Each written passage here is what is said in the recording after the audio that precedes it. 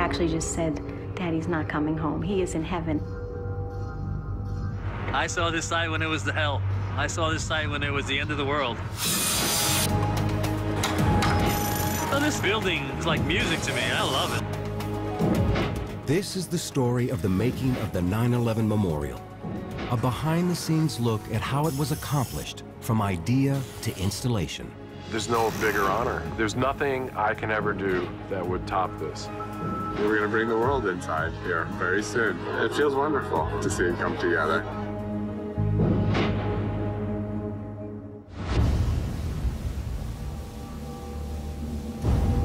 The terrorist attacks of September 11, 2001, left a void in downtown New York. The scarred site and the city's spirit were equally broken. For 10 months, recovery workers clawed and dug through the rubble at Ground Zero, searching for remains. Once that difficult work ended, attention turned to rebuilding, especially the sensitive task of constructing a memorial. We tried with our heart to find everyone. And having done the best we could with that, we're doing our best to build a memorial so that it's something permanent, something beautiful, something respectful, something emotional. To bring that lofty vision to life, it's been a long and arduous journey, filled with controversy, creativity, and dedication. Right after 9-11, a city-state government entity was formed. Their essential role was conducting the uh, design process, the largest international design competition in history. 5,200 entries from 63 different countries. They conducted that process. Here we go. One of the entries was from a 34-year-old New York architect named Michael Arad. Arad became one of eight finalists with his proposal called Reflecting Absence. The design was conceived of as a clearing in the city. At the moment that you cross the street and step onto the Memorial Plaza, you'll know you're in a different place. Arad's design was rooted in his own experience on 9-11. I heard an airplane hit the World Trade Center, and I thought it was sort of a freak accident. And I grabbed my camera to take a couple of pictures, and then I saw the second plane strike the South Tower. It was obvious in an instant that, you know, this was not an accident. Two hours before, both of them were standing, and by the time I got home, they were both down. Deeply shaken by what he had witnessed, Arad was haunted by an image that defied nature. Two square holes carved in the Hudson River. Water flowed in, but they never filled up. It was this very clear image that was in my head, and so I, I sketched and eventually built a small model. I ended up taking it up to my rooftop and photographing it, conveying this idea of the absence in the skyline being mirrored in the river and the voids. And that idea then transformed itself when I started to think about a memorial uh, here at the actual site of the attack. Arad's design sits within the exact footprint of the Twin Towers, anchored by two vast pools lined with waterfalls, each about an acre in size. The heart of the design is a series of bronze panels, or parapets, inscribed with the names of the dead. The parapet is the moment that you get to be intimate with the person that was murdered here. And even if it's a stranger, you will see something in the names that will draw you to them. I always thought of the names displays being a sort of an act of communion with the names of the dead that are in front of you. Michael's original design was very stark. The jury felt pretty strongly that um, the notion of life needs to be brought back in. You know, they suggested that I bring a, a, landscape architect on board. Michael Arad called us up one day, and uh, I didn't know who he was. He was a young, young architect, and I had never met him. So I asked him if he wanted to, to work with me on this proposal. So I called him back and said, yeah, that's great. Let's, let's do this thing. It was one of these cold mornings in New York. My car battery died. I was waiting for the tow truck, and I got a call asking if I could come in. They had some paperwork that they needed me to sign, and I thought, you know, this was just pro forma, like getting me out of the way. And I said, you know, I can't come in today. I have to take the car to the shop. and then they told us we'd won. But to transform the memorial from blueprint to building took more than two years. I can't think of anything as difficult as this job with so many different stakeholders, with the emotional uh, connection, with everyone having an opinion.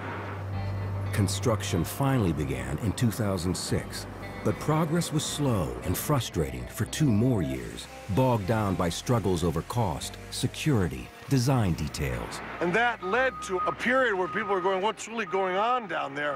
When so much had to be done, what people couldn't see below grade to get that foundation in place. And now you're seeing the incredible tangible results of that hard work.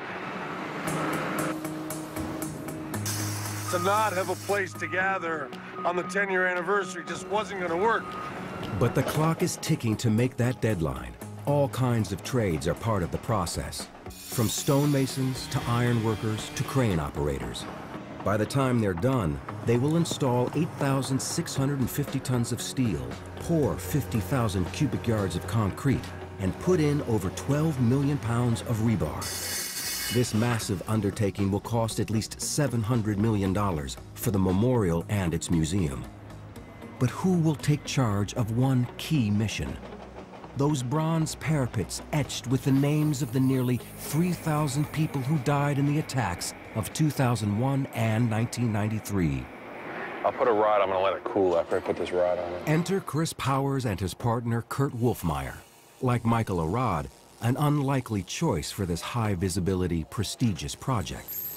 KC Fabrications may be just a two-man company, but in late 2009, with the construction clock ticking, they blow away the competition with a simple and elegant idea. There was a mock-up in the Brooklyn Navy Yard. So Kurt and I went down, and all the other bidders were there as well. They mentioned while we were there about no folding of the parapet. All these seams have to be uh, welds.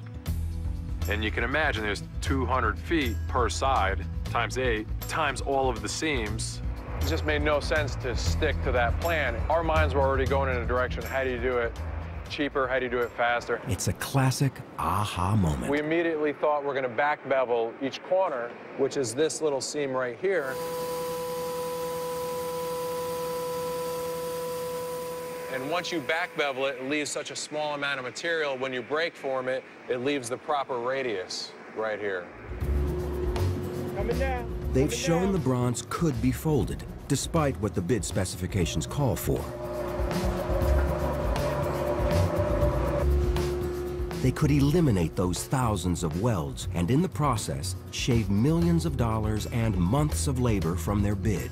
And Arad's design for the panel's elegant shape would be preserved. Come in, Bill. Come in, Bill.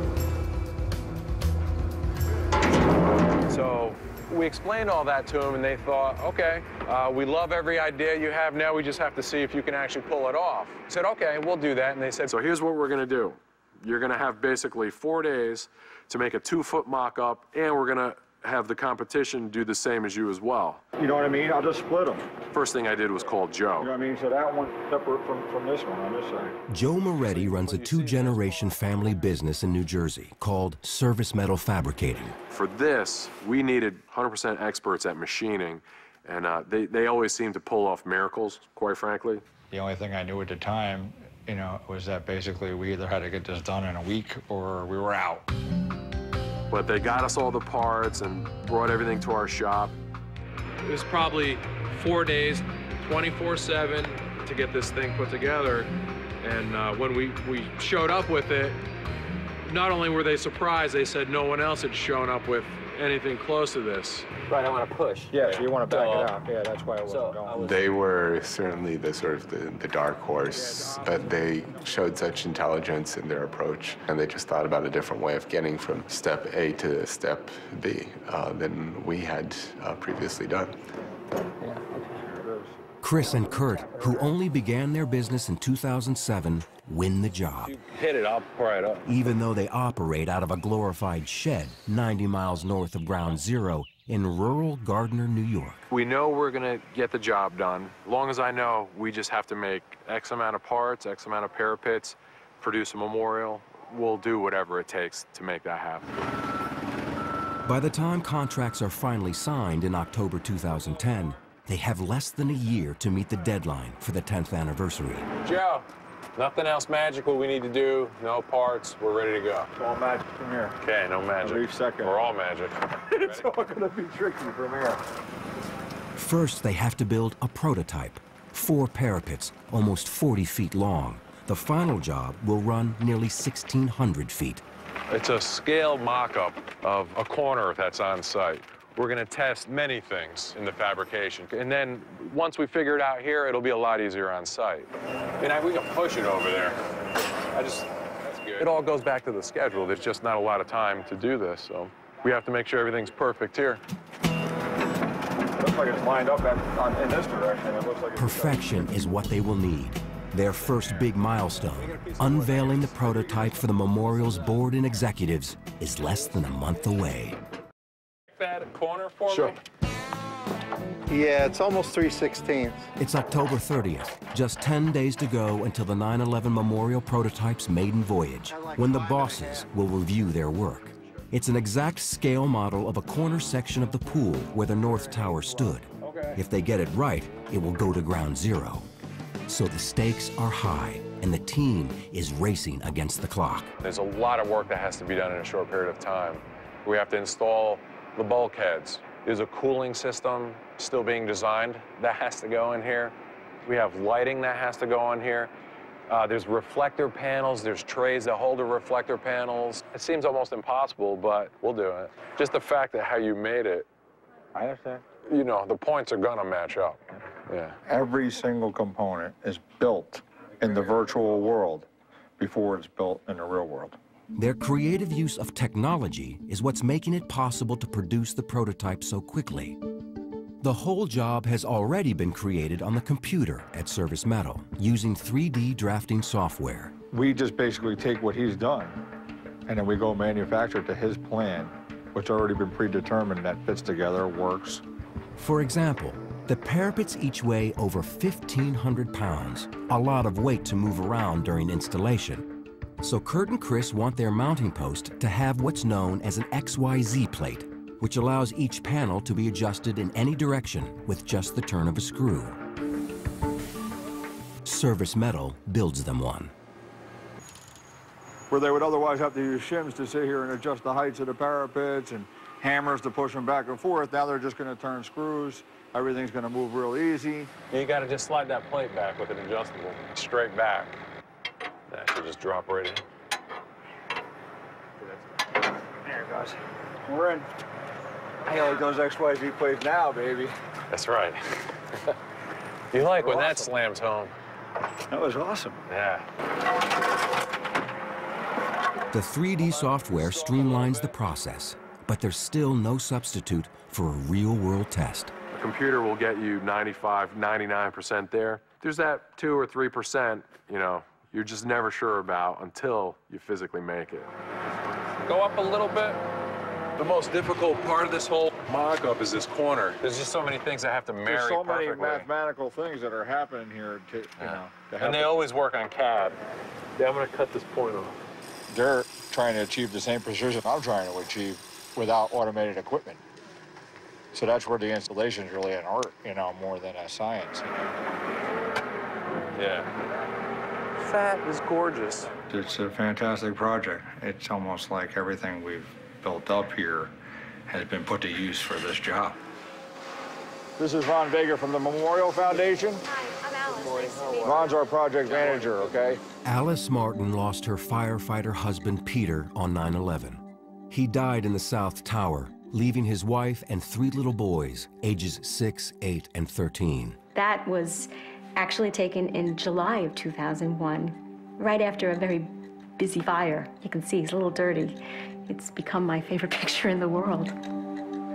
Alice and her sons were invited to Service Metal to watch Peter's name be stenciled into the bronze with this giant water jet. So one of you guys, if you'd like to start the machine, Okay. you can all do it. Ready? Ready?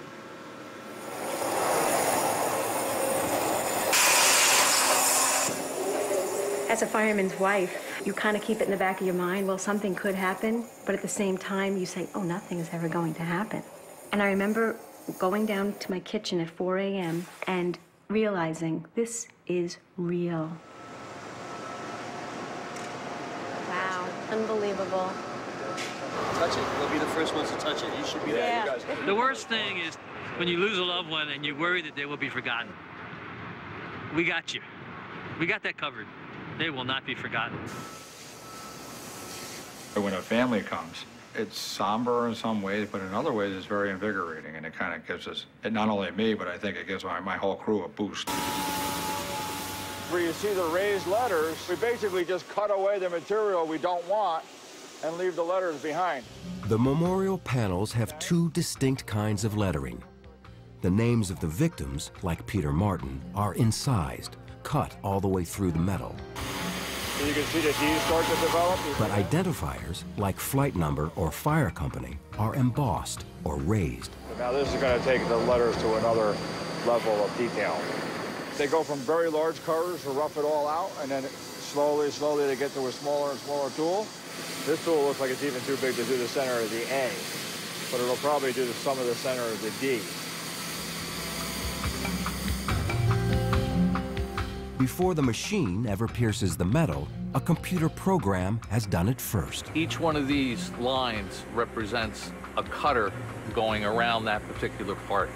And the more tool paths you make, the smoother it looks in reality.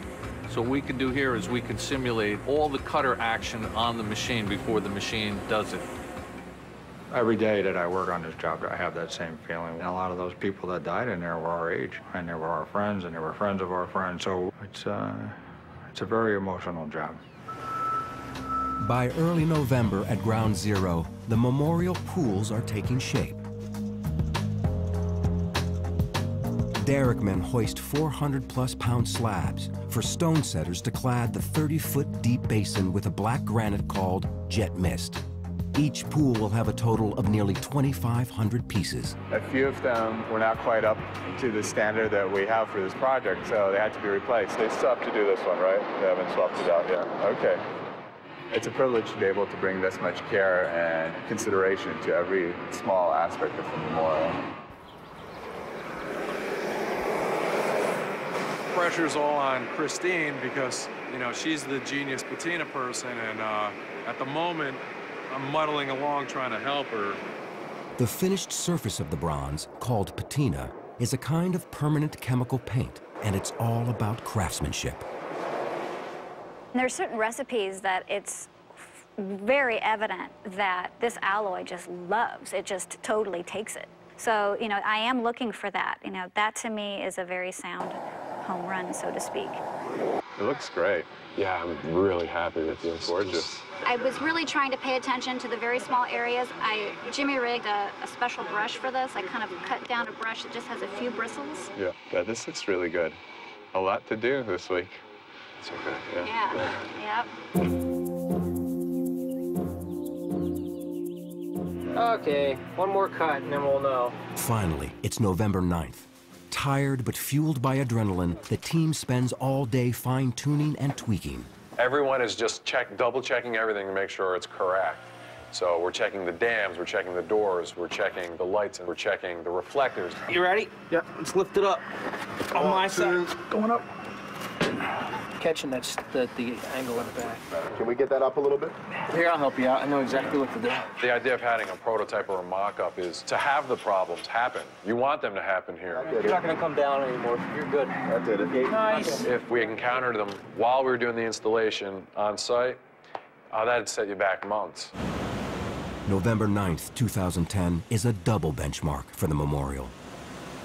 The North Pool waterfall is tested for the very first time. It was beautiful. When the sun hits it, it actually looks like bits of diamond. And then you'll see a rainbow dance from one side to the other side. 16 mechanical pumps will recycle all the water in both pools at a rate of 52,000 gallons per minute.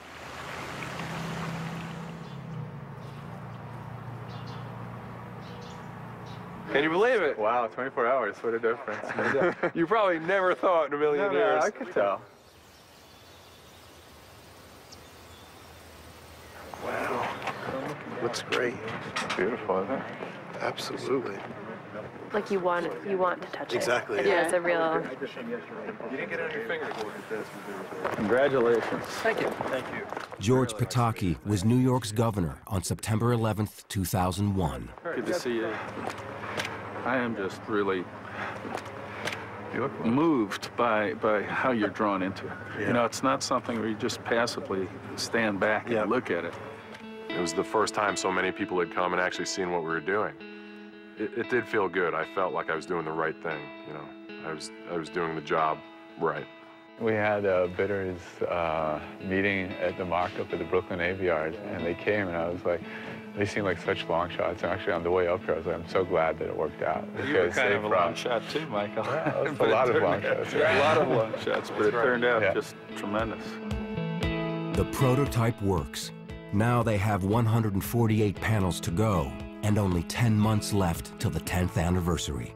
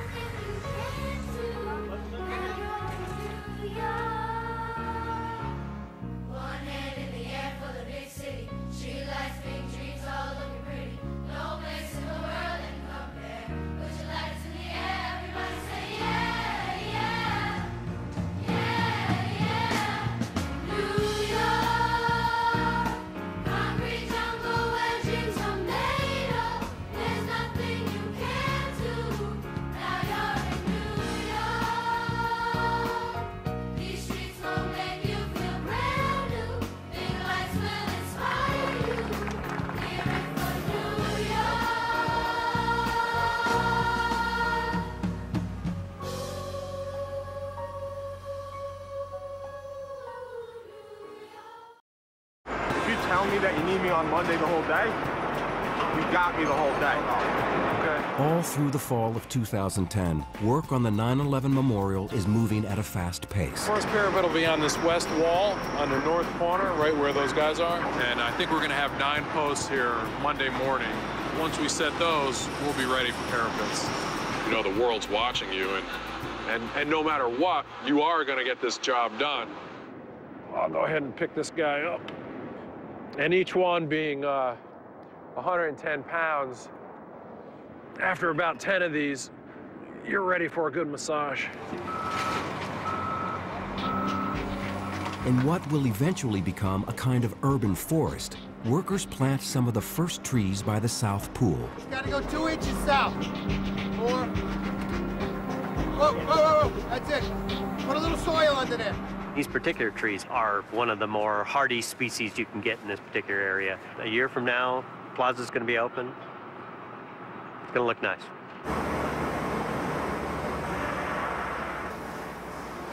That's the last weld. That's number 24 of 24. That was just the final weld, sealing the surface of the weirs. All around the top of the memorial pools, millwrights finish installing the weirs, finger-like dams that will guide the water as it cascades over the edge. It's all stainless steel. Everything has to be stainless to match so it don't rust. If it's going to be here a couple of hundred years, we want to look pretty for that long. How much more meaningful could it get, really? Uh, it's, uh, I'd do this one for nothing. Really.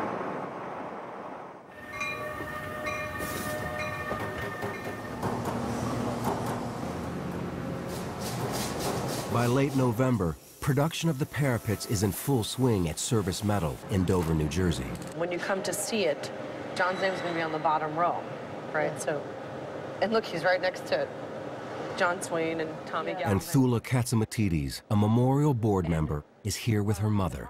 And Thula's brother, John, died in the North Tower. John was never recovered, so we were never given anything. Yeah, it's very hard when you have a tombstone and there's nothing there. There's my Johnny. What, what we're doing here today is we're water jet cutting the names, which are the cut-through lettering on the panels. That's what the water's forced through, that little tiny hole. 40 thousandths of an inch diameter hole. 60,000 psi water pressure is forced through. So there's a little bit of sand that comes in here, and you can control how much comes out, how many pounds per minute. It's fed down through this tube, and then it mixes with the water. And then the water and the sand cut through the brass. Wow. Very nice, beautiful, amazing. I don't go down to ground zero, but um, now with the with the completion of the memorial, oh, I'll be down there. So just unpack these guys? Now the team's next deadline looms. The first batch of completed parapets must be installed at Ground Zero in less than four weeks, by early January 2011. So far, everything's going exactly how I hoped. So I hope I didn't just jinx myself. But there's a problem they need to solve. The bronze can get as hot as 200 degrees in the summer heat. Let's just see if we can go past. It was only after the memorial's design was locked they realized the panels would need a cooling system. I've personally touched the panels in the summer, and, and it is too hot. A glycogel run through flexible hose will flow into a series of copper pipes and regulate the temperature year-round. But the add-on is awkward. The different trades have been struggling to make it work since early fall. Things are butting into things. You just have to marry so many different pieces together. The problem is with the way that pipe fits in here. It's December 22nd. Installation D-Day is less than two weeks away. They still haven't mastered that cooling system. I just worry like we're pushing a car and we hit a bolt and the thing just goes. Yeah. I lose a lot of sleep still worrying about making a date.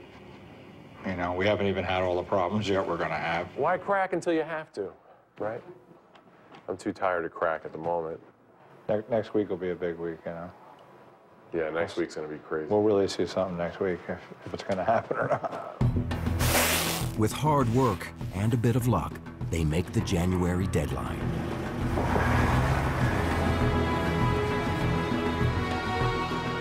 So the second he gets here, the truck will come in.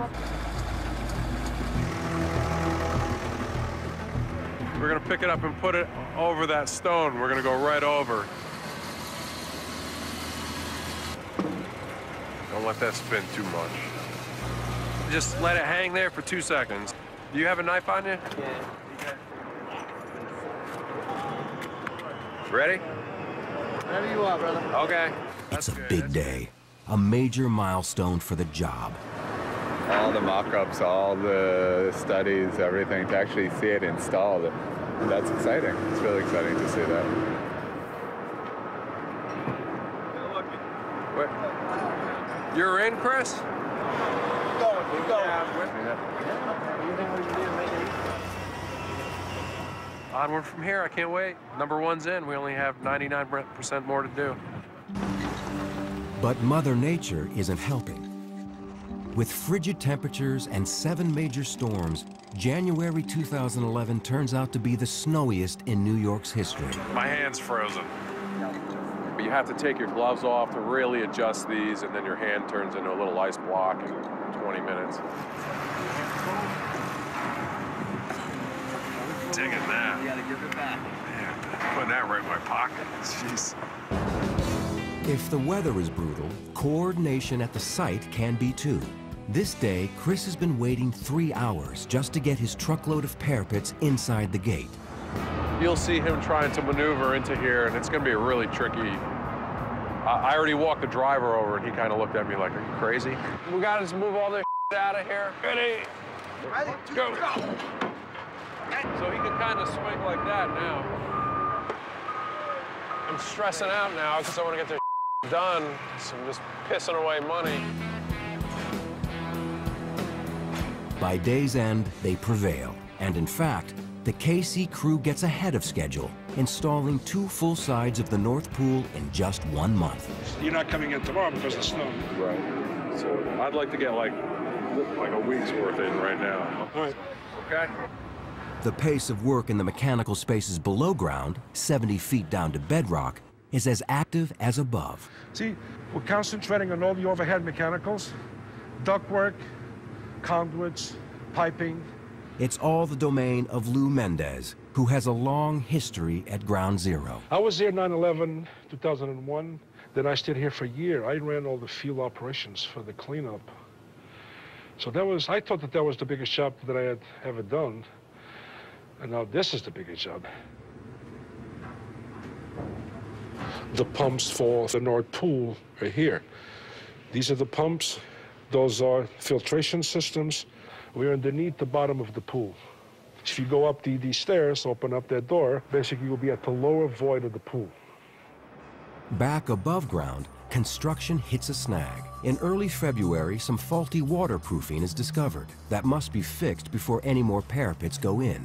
If that isn't bad enough, Is that okay, though? the cooling system needs yet another round of redesigning on the fly. And if it was rotated this way, you're saying it- it's Then it gonna... would be off angle too far. What I would do is I would, I would put these pipes on. Once, once you get this one dimension straightened out, this vertical. Yeah. That seems to be the only hit. Then that would be consistent throughout. There's still things that aren't completely resolved at this point, and that's, you know, with, with six months to go, that's, uh, that's a little too tight for me to be working on nailing stuff down in its final design at this point.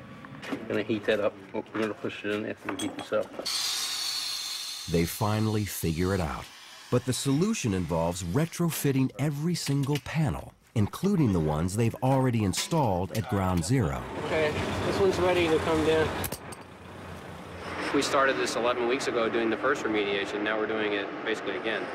Every single parapet. 100 of them are done, and they all have to be rebuilt plumbing-wise. Now we have this and it should work fine. You know, three strikes you're out, but now the three strike is gonna work. Hey, Mike? It better. With all the delays, no new parapets have been installed in three months. They're piling up at KC. These are basically all ready to go. This is the North Pool just sitting, waiting to be installed. There are only 18 weeks until 9-11-11. Failure cannot be an option.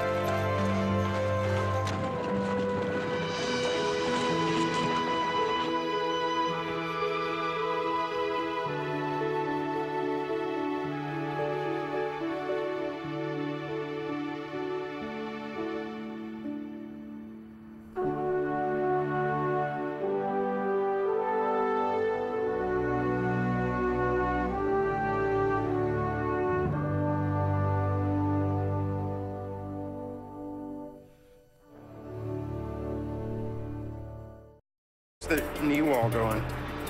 Soon, but I think they actually have to take some of this, uh, some of these pieces out. As the countdown to the 10th anniversary continues, architect Michael Arad and Memorial President Joe Daniels make regular site visits to monitor progress. here. There's a lot that needs to happen before it's done. Do we have enough time, you feel like, with schedule and all that? Yeah, but we don't have any time to waste. It's true. The anxiety level is pretty indescribable. I mean, there is no margin for error left in the project. We're gonna lift it up, you slide it under. In mid-May, the KC team finally gets the green light to resume installing new panels. Keep coming five on the cable, keep taking it right. Keep it coming on the cable, keep coming on the swing. And hold that right there, hold everything. You okay? There we go. Yep. At last, both the work and the weather have turned a corner. Come on down about two inches, Jerry. Okay. Hold that, hold, the Hold load. that. Keep coming. A little more. Nope, you're good right there, we're good. Nice. All the planning's working out. And it's not raining, that's amazing. It's the first time I've set a parapet without a snowstorm or a sleet storm. Everyone who works on the memorial knows full well how much it means to the 9-11 families. people will remember that those people were people, not just names, that they were names that belonged to a human being with a life. The Martin family had never been to Ground Zero, but with the 10th anniversary close at hand, they take a tour of its perimeter. Gazing over the landscape that claimed Peter, they are comforted by the rebuilding. see all those men with their hard hats and to hear the drills, it shows that we're going to rebuild and life goes on. It wasn't a dark, gloomy place. It was a tower that was being built. It was the complete opposite of destruction. It was construction. The Memorial Plaza will epitomize that affirmation of life. Over 400 swamp white oak trees arrayed throughout the eight acre site will ultimately soar 60 feet in the air. So they grow up and they almost make a Gothic sort of colonnade. The park had to change your mood from the cacophony of the street It will be like an inner city forest, but a meticulously designed one. So you have order along one axis, looking east-west, you see these trees snap into these cl clear rows. But when you look north-south, there's a much more haphazard, naturalistic pattern. This New Jersey field was converted to a nursery in 2006 to nurture the memorial trees. Hundreds of 18-foot trees were hand-picked and moved here and now stand 30 feet. Their care and tending is as painstaking as their design. Each one of those root balls weighed roughly 10,000 pounds. So we took a hunk of soil that weighed 10,000 pounds with a tree growing out of the middle of it and put it in these boxes and rooted it out. So it, it's quite a process. Most urban trees are, have a death sentence. They've been planted in a shoebox. They're only going to grow as big as they can, and then they'll, they'll just they'll just stop if they if they survive at all. So what we've done with this design is given every possible advantage to the tree. So right here is where the irrigation point of connection is supposed to be. Yeah. So I guess we can get in like here. There's a short tunnel right here. Networking throughout the memorial are a series of these maintenance tunnels with all of our utilities. Oh, here we go. God forbid you forget something in here. Every drop of rain is caught and taken down through a whole system into a tank. And then that water is used again to irrigate the ground cover and the grass and the trees. Water is one of those beautiful things. You can see the wind just catching us. Oh, yeah. It's really pretty cool. Water architect Dan Euser masterminded the creation of the Memorial Waterfalls. We have a void here where the tower stood. The concept was that that water would fill that void and it would be this cleansing action, that, that healing process. With over 350,000 gallons of water cycling through each pool, these fountains are truly one of a kind, with challenges to match. One of the first things that I saw when I said I saw the length and the size of this thing is, is how is it going to be sustainable? Dan came up with this idea of these fingers, which would let the water through, but not use as much water. The fingers of water hold their visibility and the uniformity all the way down from the top to the bottom, and so you can get away with a lot less water.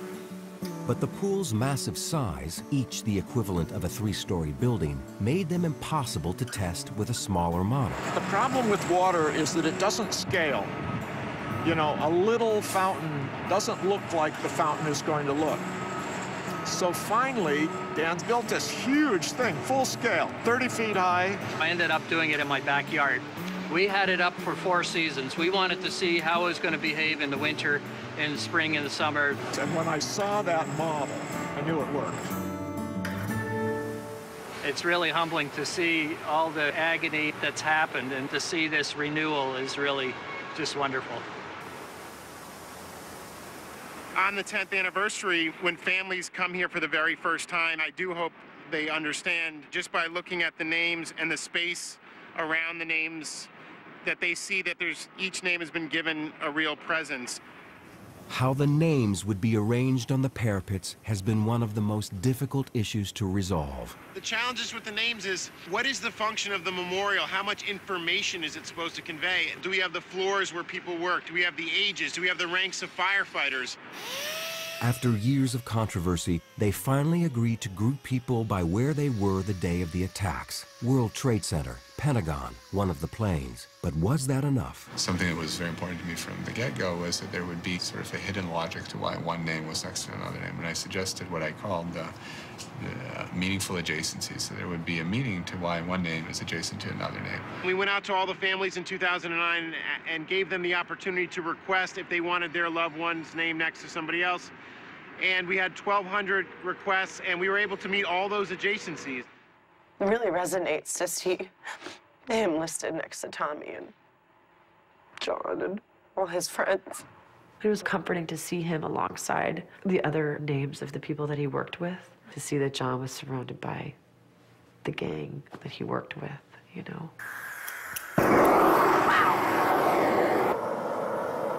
Anthula Katsimatides has come to KC to be an intimate part of the process herself. To be working on my brother's name, to know that my hand is involved in the memorialization of him is just, was an awesome feeling. That's good on your height right there, Jerry. Take it right. Swing, get you away from the trees. You can boom it back to you. Good height right there, Jerry. Back at ground zero, the KC crew is working double shifts to make the 10th anniversary deadline. Let's get this sucker in there. Coming down easy? That's good. This will be all right as long as everything keeps going like it is now. Thanks. Yeah, excellent. Thank you, sir. Excellent. That's it. Can't complain. Yeah, you gave him a home run today. That's right. I don't want to get cocky yet. Let's get a pool gun first. They're in the home stretch, so long as they can keep up the pace. Go down. Go down a little bit. It's late spring 2011, just a few months left to the 10th anniversary. The 9-11 Memorial Plaza is a whirlwind of activity. It's incredible I mean, to stand here with all these trees behind us and this paving below us and the plaza, uh, the pool and all the elements coming together. It's great. We're in the final stages. If you were making a meal for, you know, 100 guests, I mean, everything is cooked and everything is set, but you're still kind of running around and uh, fixing the last few things. Welcome, everybody. As you can see, we are making progress. And uh, so far, we are on budget and on time. New York Mayor Michael Bloomberg is the chairman of the memorial. Hi, guys. See you again. Be safe. This How are you, sir? Good, thank you. Where we're looking at now, which is the west side of the South Pool, is The mayor and memorial president Joe Daniels lead the board on a tour. As the mayor said, lots of progress. We're 123 days away, um, and we're all out till we get to the 10th anniversary and beyond. It's hard to, to come to terms with 3,000 people lost. I hope that when people will come here, they'll walk around both pools, they'll see the thousands of names that are here, but they will also learn individual stories, not just about the people who died that day, it's also about the people who are left behind. I don't think that anyone can come to the site and only feel sadness. You know, I mean, if that happens, we've failed, you know, and I don't think that we're going to fail.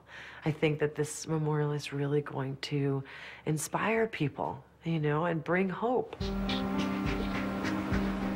With each passing day, more and more trees dot the landscape, slowly but surely filling in that urban forest. We need to go this way about two inches, so come up on the suspension and down on the suspension over here.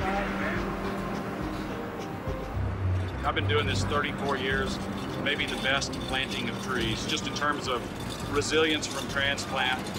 They're rich green, they look like they've been here forever.